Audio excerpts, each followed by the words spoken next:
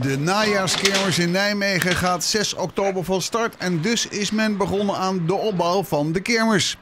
Bijna 50 attracties worden er de komende dagen verspreid door het centrum, de Waalkade en het Kelfkunstbos neergezet. De kermis beschikt buiten een flink aantal attracties ook over een Halloweenavond en een kortingsmiddag.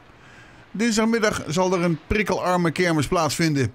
De 14 oktober wordt de najaarskermis weer afgesloten.